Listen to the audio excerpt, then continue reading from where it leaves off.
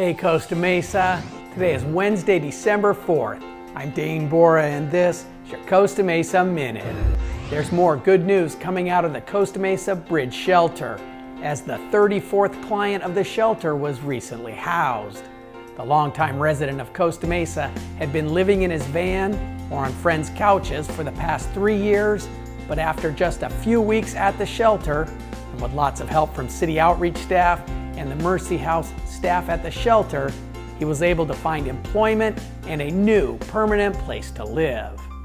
An High School production drama invites you to their production of It's a Wonderful Life this Thursday through Saturday, with all three shows starting at 7 p.m. in the Barbara Van Holt Theater on campus. Tickets are available at the door.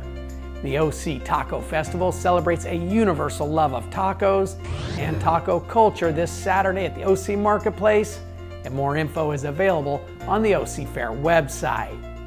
The annual Polar Express event, hosted by L3 Real Estate, returns to Estancia Park this Saturday. There will be plenty of free, family friendly activities, including train rides, pictures with Santa, and more. And that's Costa Mesa Today, a minute or two.